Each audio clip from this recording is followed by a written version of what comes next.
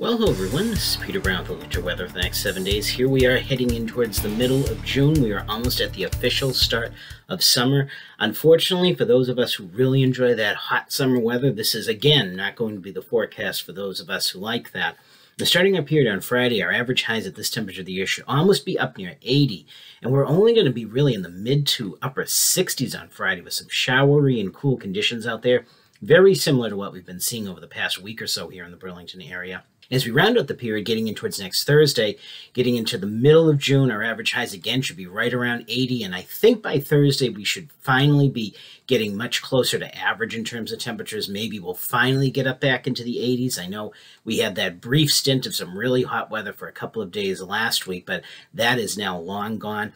And now, interestingly enough, as we are almost at the very official start of summer, our length of days are just about at their maximum. So the sun will not be rising any earlier than it is in the morning right now. We'll be tacking on a couple of more minutes here and there to the evening hours, but in a couple of weeks, our days are going to start getting shorter again. So as we go ahead, let's take a look at what the Climate Prediction Center is calling for us here in the Burlington area in terms of temperatures and precipitation for the next seven days.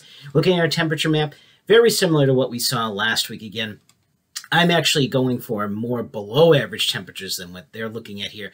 Nothing too chilly, but definitely none of that real summertime warmth like we saw last week. And looking at our precipitation chances, they are calling for us to have above average precipitation, which we still do need out there as it's been very dry all over the New England area, up into southeast Canada. You've probably noticed in the Burlington area over the past few days a lot of real thick, heavy smoke coming down from fires up in southern and central Quebec. Those, of course, have been brought on by some extremely warm and dry conditions that were going all the way back to last winter, like we saw here in the Burlington area. So, some really dry fuel up there in Canada. Looks like that smoke is going to be with us off and on for the next few days again.